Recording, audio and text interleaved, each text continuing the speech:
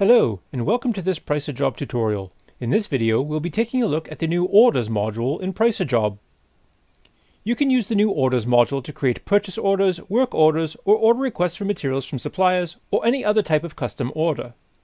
To access the Orders module, navigate to the Reports tab here in the left-hand pane, and then select Orders. The orders you create are allocated to a specific project, so be sure to select from the Project Selection menu here the correct project for which you wish to create an order. In this example, we'll use the residential reno project. And now that we've selected the correct project, we can click here to add an order.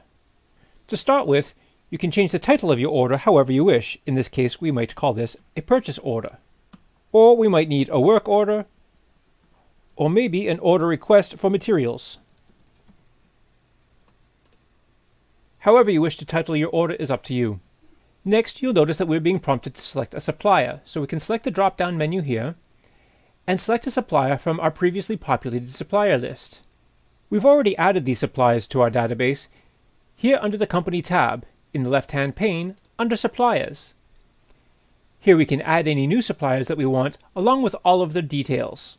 Alternatively, we can go back to the Estimate tab and select Reports and select Orders and open the order that we're working on.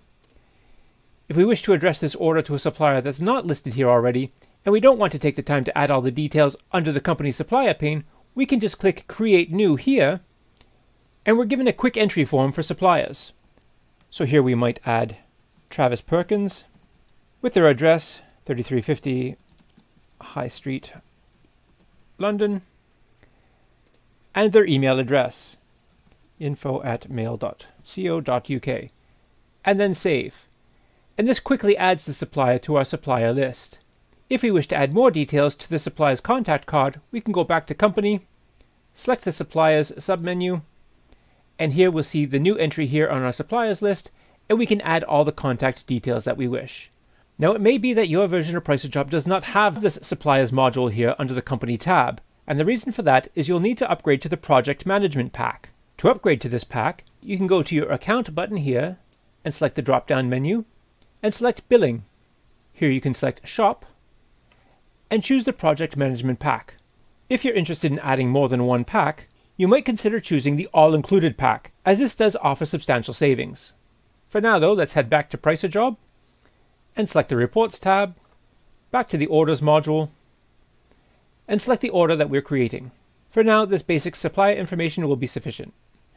Now we can start adding items to our order request. And there are a variety of ways to do this. We'll start with just simply clicking here, Add Item. Under the description, we can select that, and then enter our description. Perhaps we need screws, 100 by 5 millimeters, box of 200. And we can set the quantity to 3, and we can customize the units. In this case, we could say each, or a box, or any number of other units here However, in this case, we'll just stick with each. To add another item, simply click Add Item.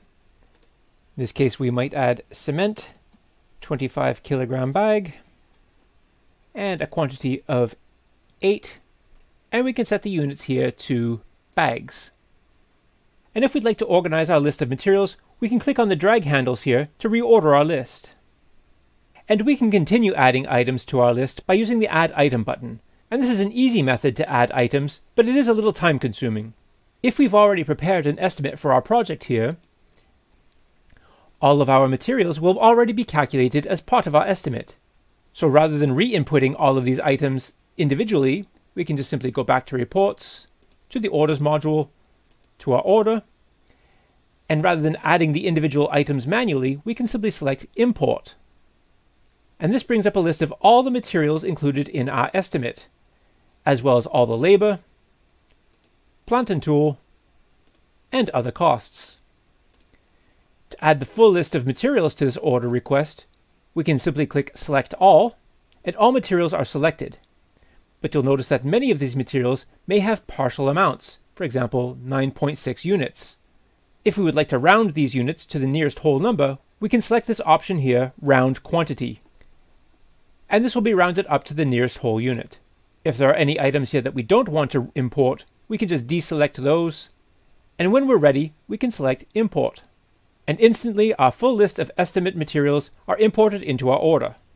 And you'll notice because we selected the round quantities that there are no partial amounts.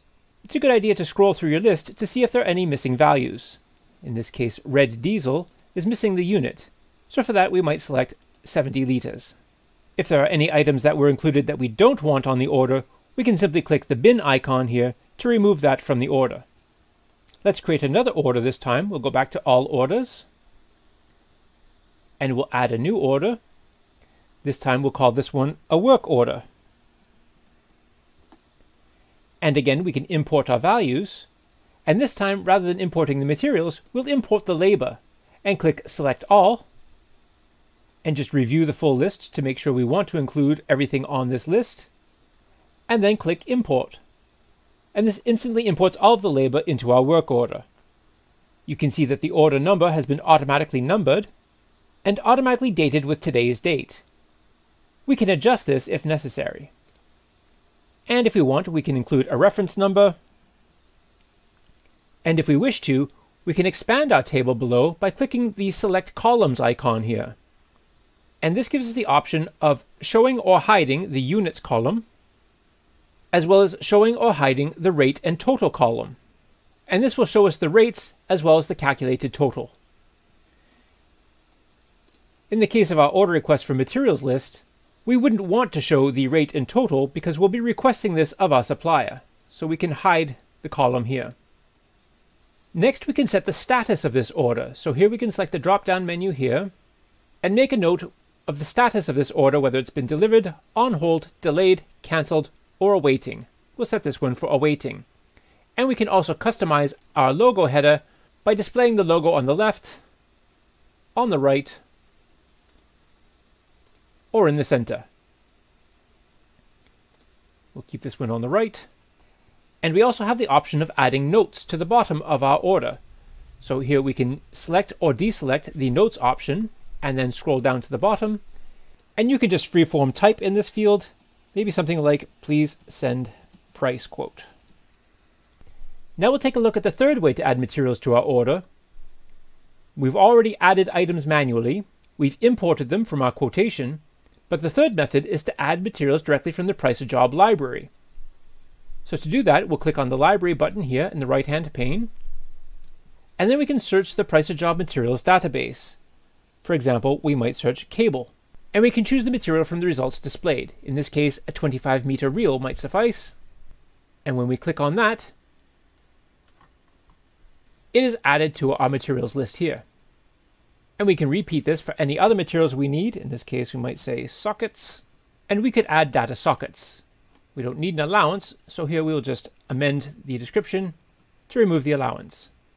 The database also includes labor estimates, plant and tool, and other costs. So under plant and tool, we might request a skip loader. And from the results, we can select a one-ton skip loader. And this allows us to add material, labor, plant and tool, and other cost items to our order. Once our order is complete, we have the options to either print the order here, or we can export it as a PDF,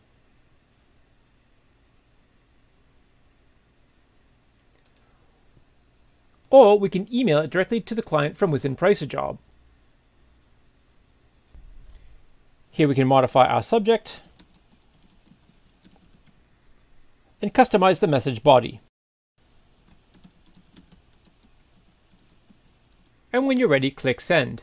And if you'd like to send this same request to multiple suppliers, this is easily done by going to the All Orders page. And here under the three dots, you have options to either edit this order, which is actually the same as just simply clicking on the order in the menu, Or we can delete this order, or in this case, because we want to send it to multiple suppliers, we want to duplicate it. And this duplicates the order, so now we can either click on this order again, or use the three dots to edit. And here under the supplier dropdown, we'll change the supplier to a different supplier. And now when we click to email this one, this will be addressed to the new supplier along with all of their appropriate contact details. And then as the responses for your various orders arrive, let's say we get a response from Travis Perkins, we can click on that order and adjust the status.